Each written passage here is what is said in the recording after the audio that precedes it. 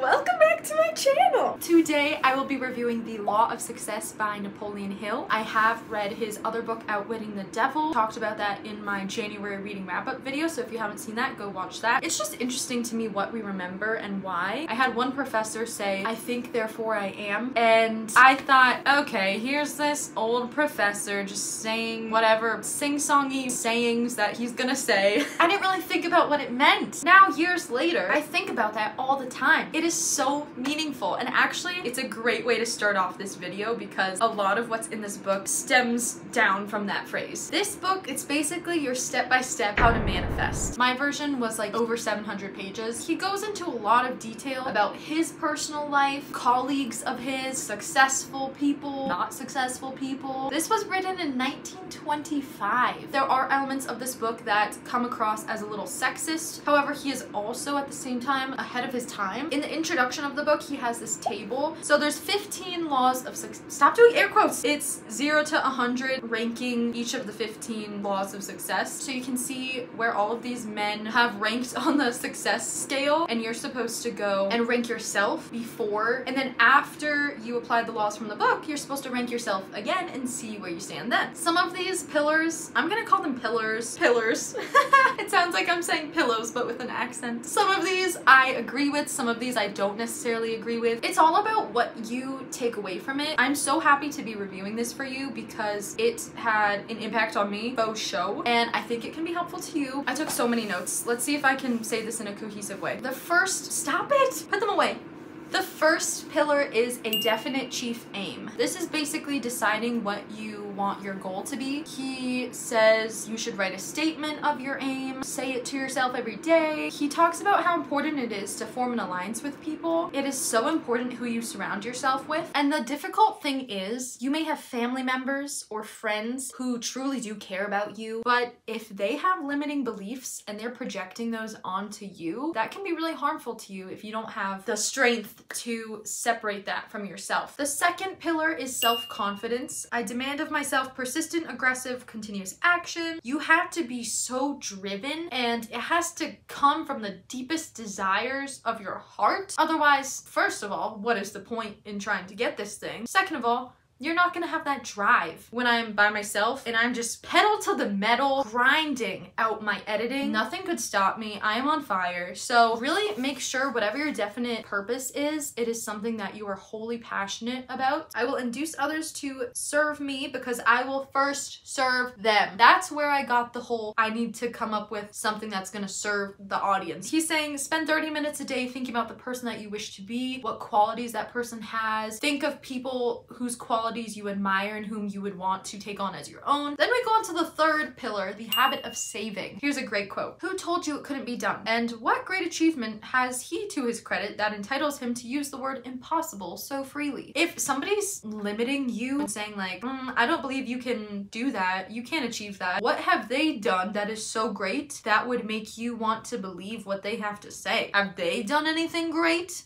No. So why does their opinion matter? We need to like take other people's opinions and like put them through a sieve, a sieve, and just really filter out all the opinions that don't mean anything to us. There's also another quote from another professor of mine in college that I love so much. That would hurt my feelings if I respected your opinion. Whose opinions are you choosing to respect? Think about that. Think about the quality of character that those people have and whether or not you value those. I think that is a really valuable lesson. He has all these pillars, but he puts a lot of random other seeds of wisdom in various different chapters. There is a sort of structure to this, but at the same time, it kind of falls away the deeper you get into the book. Quit the habit of buying on credit. Save a regular proportion of your income. The spending habit must be replaced by saving. So basically, saving your money is a great idea. The fourth pillar is initiative, initiative, initiative, and leadership. Make sure you are actively putting in work. The big prizes of life cannot be measured in dollars and cents. The reason why money is so great is because it is a tool. It is a tool to help us experience the life that we want to live. Blah, blah, blah, blah, blah, blah, blah. Oh, my feet can just hold this up. Number five, Imagination. The man who slanders his fellow man unwittingly uncovers the real nature of his inner self. What you say about others says more about yourself. I mean, we've all been there, right? We've all made mistakes. We all have our flaws. We've all gossiped at one point or another. Does it ever feel really good? No. And also, it always comes back around. The man who is afraid to give credit to those who help him is so small, the man is small, that opportunity will pass by without seeing him someday. If you fail to be grateful for people, then things are gonna pass you by. I believe that being grateful for things allows other opportunities for you to be grateful about to come into your life. Here's a personal example. A couple weeks ago, I had this day where my social media just blew up because of a video that I was in that got like 12 million views. I had a lot of people start to follow me, especially on TikTok. They would comment about this video. My first reaction was, ugh, people are commenting about this thing. The first feeling that I had wasn't this feeling of being grateful for the people following me in the first place, which I am. I'm so grateful that that happened to blow up so that people started following me, but it really taught me a valuable lesson, which is if I can't be grateful for this little thing now, how can I be grateful for this big thing later? Number six, enthusiasm. Without character, you are nothing. You're nothing. Number seven, self-control. Deliberately place thoughts you desire there in your mind and keep out thoughts of others. This is again saying be careful with the thoughts that you place in your head because they will root themselves in your subconscious eventually if you think them enough and believe them enough. Number eight, habit of doing more than paid for. Make yourself so useful that they cannot get along without you. That is actually something that I do very well. I make myself so useful that every time I have ever worked for anybody ever, I've gone above and beyond. However, it's not ever been my dream job wherever I've worked. Otherwise, I'd still be working there. This is really hurting me to sit up like that. I hope this is still recording. Wait, let me, coffee break.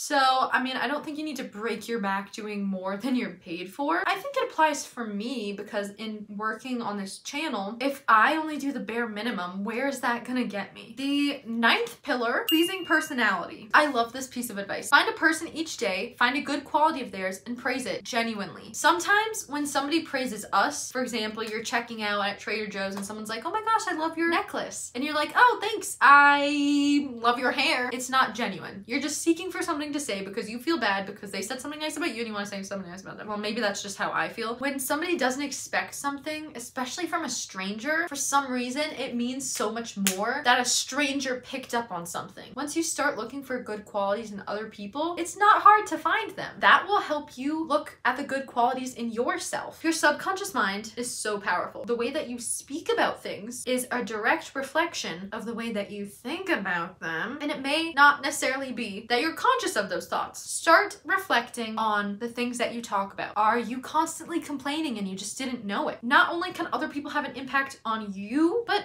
what are you doing? Are you negatively impacting the people around you? Or are you having a positive impact on them? Just something to think about. Number 10, accurate thought. No one may influence another without the consent of the one influenced. This reminds me of a quote, I think it's from Eleanor Roosevelt. No one can make you feel some type of way without your consent. Basically, that's just saying we have more power than we think we do. Uh, that's not true. This person said this and this hurt my feelings. That's because you gave what they said merit. It's hard because we're fragile. I've heard this kind of thing going around lately. If somebody says to you, your hat looks so stupid and you're not wearing a hat, you don't believe what they say because you are not wearing a hat. If somebody says something to you but you don't believe it yourself, then it's not going to affect you. I'm working on this now because not everybody leaves nice positive comments. When I was first making YouTube videos like three years ago, oh my god, somebody left a comment about my appearance that just really hurt my feelings. I was really sensitive. I cared about what anyone and everyone thought about me. But now when I see some people comment like negative comments, it is evident to me that there's some sort of negativity in your life that is causing you to say that. From the bottom of my heart, I just hope that you are able to get over whatever it is you're, you know, suffering through. If you aren't careful and you let anybody in, people can have a really negative impact on you. Or they can have a really positive impact on you. Your chief aim will come to your attention in things you read, opportunities will come. Once you are set on something, you'll start to see synchronicities. Lately, I've been seeing 1010 on the clock. I'm not sure exactly what that means because every website gives me like a different meaning. For me, it's just confirmation that I'm like on the right path or good things are coming, to have faith, that kind of thing. The power to think as you wish to think is the only power over which you have absolute control.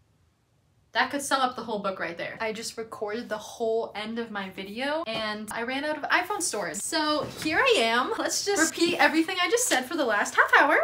the power to think as you wish to the yeah, Number 11, concentration. The act of focusing the mind on a given desire until it's been worked out. And then he talks a lot about habits. It's like when you're driving your car somewhere that you go all the time, you're on autopilot because you've done it so many times before. You want to develop good habits so that you don't have to think about them. Number 12, cooperation. These are the chapters where I kind of started skimming because he didn't really go into the actual content of the word that the chapter title was. You want to surround yourself with people who are more talented and better at doing a certain skill than you are. For me, I'm like, well, I work by myself on my YouTube videos. I'm not really working with anybody. However, the people that I tell about my YouTube channel and that I talk to about it, people believing in me and getting excited to see my videos, that is just as valuable to me as it would be if I were working in an office and we all need to work together to achieve this common goal. It's the same kind of deal. Number 13, failure. He didn't really say much about failure, just that you will be able to achieve success if you view your failures as temporary defeat. Number 14, tolerance. Too often we hold opinions that are based upon no sounder foundation than that of what someone else believes. This goes along with everything we've been saying. Make sure you take stock of what your opinions are, what you believe, and where those came from. Number 15, the golden rule. We've been taught that, I was taught this in elementary